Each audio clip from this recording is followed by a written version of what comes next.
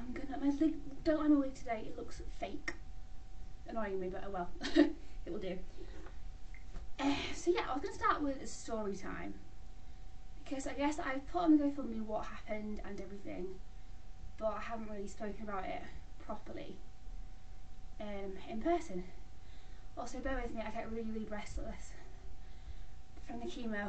Um, my body's been nuked basically, so I'm really breathless on the tumours around my heart and lungs.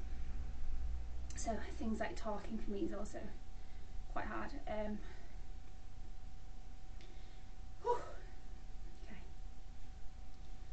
So this all started when I moved to the Galapagos Islands last year in July. I decided that I hadn't lived enough life, I had an itch I wanted to scratch and I left my whole life in England and I moved to the Galapagos Islands where I taught kindergarten in the mornings and in the afternoon I did English teaching for kids between age 5 and uh, 18. It was the best experience of my life, amazing. I was going to go back um, actually for another year at least but all this happened so I couldn't go back obviously, which was devastating. Um, to start already? So the past two months, I was in Galapagos. So I'd say from end of December to February, I started to have some bad health symptoms. Started off one day when I wake up and had painful breathing. It really hurt to breathe. Um, I went to the hospital about that, and they just they did an X-ray, said it looks clear don't know what it is, probably carrying a too heavy bag or something like that. So I was like, okay, yes, must be that. I do put a lot in my bag every day when I go to work with the kids. Um, but then it started to get gradually worse. Was to the point where I couldn't actually swallow um, my food properly. So I'd have a pasta dish and I'd say I'd be sat there for an hour and a half trying to eat a pasta dish and it would just wouldn't it would be so upset it wouldn't go down it'd be really scary actually it was a really horrible feeling but again like I went to doctors private doctors out there. I told them all my symptoms. They just said that it was just stress anxiety there's nothing wrong with you. You're young you're fit you're healthy. And obviously medical professionals you believe them because you want to believe them right? You're like oh okay oh, panic over. So I didn't, I believed them. I paid lots of money for sessions just to be told I had muscular compressions, anxiety, stress. Got to the point where I even had this really bad rash the very last week I was there. Um, all in my body was actually the cancer just screaming out for help. Um, my whole immune system I found out in the end, but they told me it was shingles. so, which it wasn't. The doctors had not told me at all. Um, but we did lots of blood tests, and they all just came back as that I was anemic. Now I've since recently found out that blood tests coming back as anemic are often a sign of cancer. Not for everyone, don't panic. not at all, it's not, you know, but apparently a lot of times it is passed off as being anemic when it's actually something more serious and it can be a cause of underlying something underlying. So I wasn't I was anemic but it was because of the cancer. Um yeah, so I booked a flight home on a whim actually. It was a very, very big whim. So it, I don't know why I felt like booking it, but I felt like I needed to go home. I wanted to see my family, so I was going to go for a couple of weeks. So I booked a flight home, left my belongings in Galapagos with a friend, um, and left my bike there because I was going to go back. And I came back, and I just felt really well the way home, but I kind of accepted it was the way I was feeling now. It was just the norm to feel that way. Sorry it's not feel that way. I, I accepted this new normal, just feeling shit. like, because the doctor said I was fine. I thought maybe I'm just unhealthy, or I don't know, like I'm not getting some vitamins I need. Um, so I had a 40 hour journey home from Galapagos to Guayaquil to Amsterdam to Leeds. Very poorly the whole way. Um, got home, very weird feeling being home. I thought I'd be happier, but I just felt so weak and so odd and just disorientated almost. It was not kind of what I expected. I was very happy to be home to my family, obviously, but something was just a, a, bit weird. I don't know what it was. Obviously, I can put my finger on it now. But when I was seeing like my best friend Georgia and stuff, I just wasn't myself at all. I really wasn't. 48 hours after getting off the plane, I went to Booths in Ilkley, the supermarket, to go and do a haul of food that I missed out on in Galapagos with my grandparents. And I got halfway around the supermarket, vision started to go, a hearing started to go, and started to pass out, and then started vomiting. Ambulance was because I went just completely blue. my whole face was blue, my lips were blue. I was out cold. It wasn't. It was yeah terrifying. I remember just telling the paramedics who were asking me how I felt when I came around. I just said I just all I can describe is I feel like I'm dying. Like it wasn't like fainting. Didn't feel like fainting. It just felt like I was fading. It was really weird. Um, so took me to the hospital, put me in A and E. It became very apparent I shouldn't be in A and E because I was literally dying. I was passing out every ten minutes and coming around, out again every minute, coming around. Um, at this point, I thought it was maybe like a tropical disease or something like that. Could be like dengue, TB. So they tried to get bloods out of me. Couldn't get bloods out of me for some reason. Um, it wouldn't work, so they told me to drip to make me hydrate in my veins to get bloods out of me. During all this, I was still passing out every 10 minutes. It was absolutely terrifying. The worst experience of my whole entire life. Um, I thought I was dying, which I, I was. It found out, we found out later on and then had the blood test finally done, managed to get something, and the kind of doctors came and said, right, so your blood tests are really, really abnormal. We don't know why though. So I was like, okay. So they got us another senior doctor to check it out, and he asked me about symptoms in Galapagos and stuff. And they said, have you had an X-ray? I said, yeah, I did. I had one in Galapagos two months ago because I did, and it was clear apparently. Um, but they said, okay, we'll do another one just in case. I said, okay, yeah, that's fine. Went for an x-ray. Now I think about it, I remember them saying to me when I was getting it done, put that on urgent. They'd obviously seen something on the x-ray, the radiographers, but I hadn't picked up on that. But I do remember it now when, when I'm thinking about it. It's crazy to think about, so it was obviously this big thing. And then, so that came back and they said, right, so your x-ray was clear two months ago, more or less, but it's very much not now you've got a huge mass around your heart.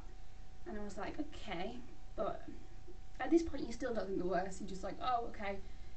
He's just thinking TB maybe, like tropical disease, dengue, I don't know, something like that. But we didn't think cancer ever. So at this point I went for a CT scan, which is where they put a dye in, inject a dye into you makes you want to pee yourself. It's horrible. I'll do a whole story on that because it was quite a fun experience, but also not nice.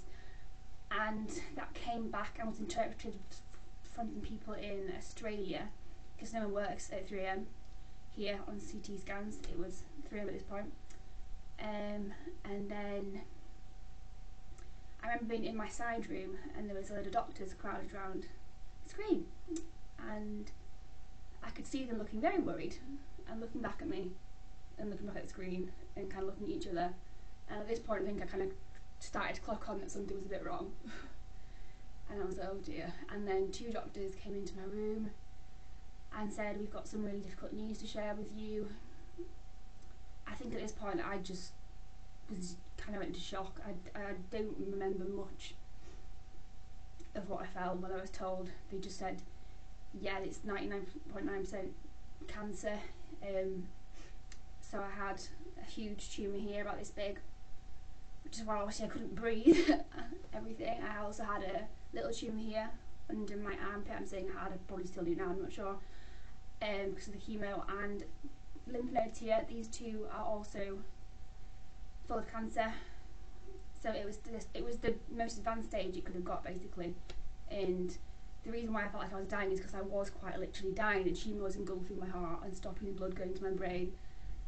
So if, for example, I had gone to bed that night and not gone to hospital, they told me I would have quite literally just died in my sleep because it would have just engulfed my heart and that'd have been it, gone. so, I mean, I'm saying this stuff now like it's normal because I've, I guess I've kind of processed it, but it's crazy to even say. like I literally shouldn't be here, it feels like. There's so many things, circumstances that could have happened that didn't happen that would have meant that I wouldn't be here if I'd have got a flight back two days later, I wouldn't be here. They don't have the the, the facilities in Galapagos to detect a tumour like this and get the right treatment, I was told. it would just wouldn't be possible. If I had collapsed on the plane, I'd have just died. like it's so so scary to think about. Um, so after this, I had a biopsy under my arm. Took it from the little tumour because it's easy to get to. But that was a traumatic experience. I'll talk about all the medical stuff maybe in a different video. Um, you can know more about each procedure and stuff. I'll do little videos on them because um, each one I know a lot about now.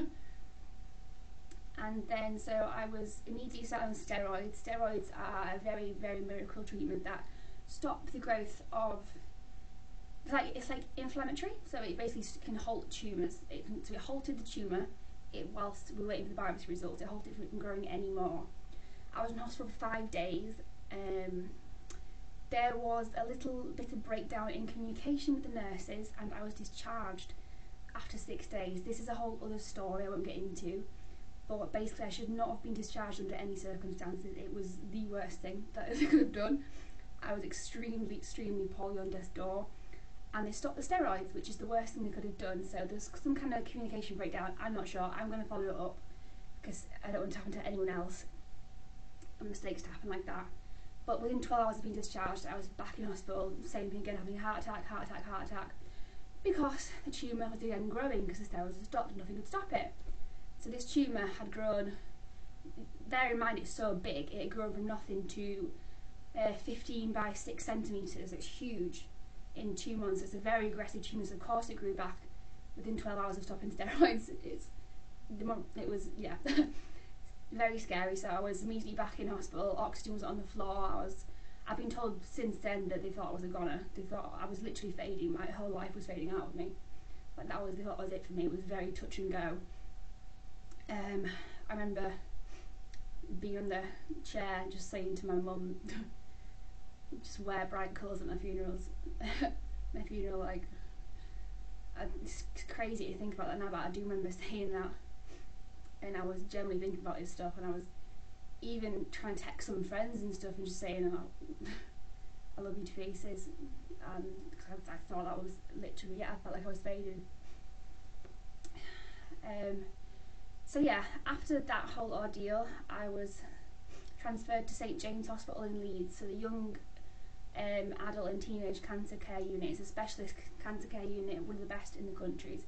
They are incredible it was I was transferred there middle of the night, which is another story in itself, which was really scary. I had to get unplugged from everything, and then it was a 45 minute drive over there, my mum and dad's car, trying to stay alive. um, traumatic. Made it there. Being there was the worst night of my life. I think it hit me what I was going through and what I was about to go through, and what my life was about to become when I was in that hospital bed in a proper cancer unit. Um, after that, I was in hospital for over a month there, with being very poorly, waiting for biopsy results, um, and then eventually starting my chemo and then getting an infection. So all in all, it was over a month, and over that month, I got so used to being in two hospital wards, uh, walls, that I, I couldn't even leave the ward without passing out because my eyes were so desensitized to anything that's not the room. I completely needed like what's the word? Um almost like physiotherapy to try on like my eyes trying and my whole body. I couldn't I couldn't walk anywhere but let, let alone walk I couldn't even be wheeled in a wheelchair anywhere because I was so immobile for a month. I'd lost complete ability of everything so it's to say I went from the most active person on earth travelling islands to literally that it is pretty traumatic to say the least. Um, and I'm trying to think what then. It's all such a blur and think about it. Um, yeah, the biopsy came back. It wasn't what we thought it was. We thought it was Hodgkin's lymphoma because Hodgkin's lymphoma prevents a lot, um, presents a lot like this and a lot like a lot of tumours that they are seen but it wasn't, it was a worse one. It's non-Hodgkin's lymphoma. It's called primary mediastinal diffuse large B-cell lymphoma. It is not genetic, it is complete luck, sadly, or bad luck, you could say. Nothing that I've done that could have caused it, because that's what I was thinking. I was like, well, I've lived a pretty healthy life what on earth has caused this? I wanted to know, but no, it's just bad luck. Um, I didn't have any time to preserve my fertility, which I will also do a whole other video on because that is a really big thing for me. So we will see about that. Um, I started chemo on the February the 20th, so I think it was about 12 days after the tumour was found. Basically started straight away as soon as I knew what it was. I'm, I'm on the most intensive chemo regime known to man, where I go in for six days. I'm strapped up. Oh. Sorry, I just sorry I just got off the phone with some therapist because I'm traumatized and need help. where was I up to? So yeah, I'm currently I've just finished round three of chemo. Chemo has been way harder than I thought it would be. I don't know why I thought I underestimated it definitely. I thought my body was stronger than it is. Obviously, it's not with the cancer, and chemo is literally like dropping a nuclear bomb on you. It's the hardest thing I will ever have to go through and ever have had to go through. The hospital stays are horrendous. I hate, hate sitting in bed. It makes me so restless. I'm not the kind of person that can sit and watch TV or Netflix series. I hate it. I'm really not like that. I don't do that often. So I'm almost always usually so poorly that I can't even look at a screen. Like I, the only thing I can do to relieve my symptoms is try and sleep. But even then, I get hallucinations. Again, I will do stuff on these symptoms in a separate video because there's so much to talk about. Um, but yeah, until so where I'm up to now is I've just done third chemo. I came out on Monday.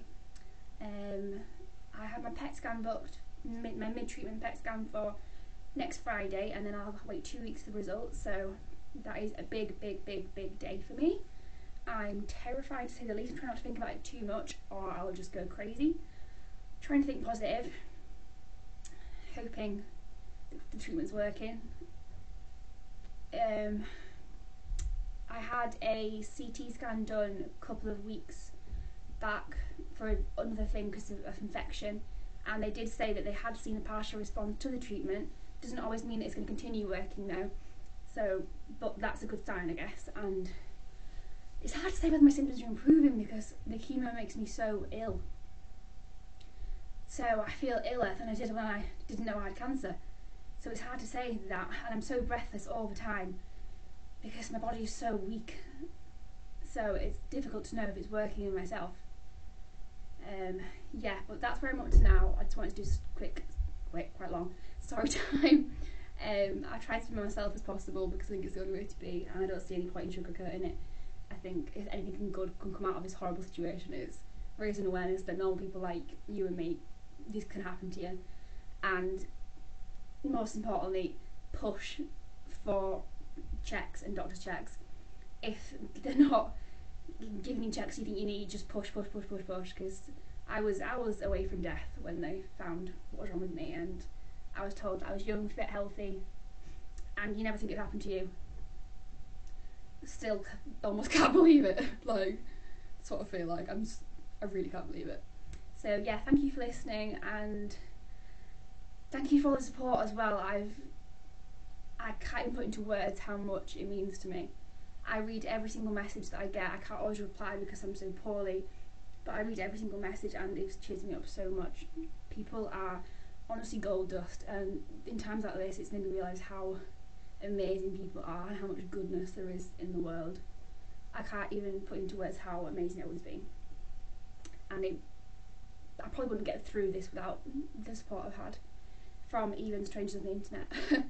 um, you are incredible. So thank you so much. And I'm going to a hotel spa tomorrow. My parents are as a treat for me. So I'm very excited. I'm hoping that I won't pass out at all because I have been recently a little bit from the menopause and induced stuff and the chemo. So fingers crossed it goes well. I might do a little video of that as well, me and my friend, and document it, do a little vlog. Okay. Uh, but yeah, thank you.